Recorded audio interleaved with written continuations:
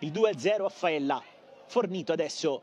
Rientra sul sinistro e calcia Fornito! Che gol! Giuseppe Fornito ha pescato il Jolly al ventesimo della ripresa mettendo il punto esclamativo su una prestazione maiuscola della Gelbison.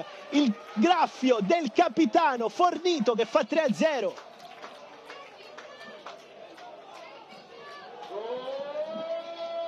un golasso di Fornito dalla distanza con un mancino che non ha lasciato scampo a Gianmarco Mannucchi.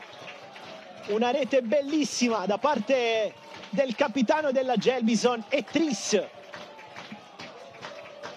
per eh, la squadra di casa.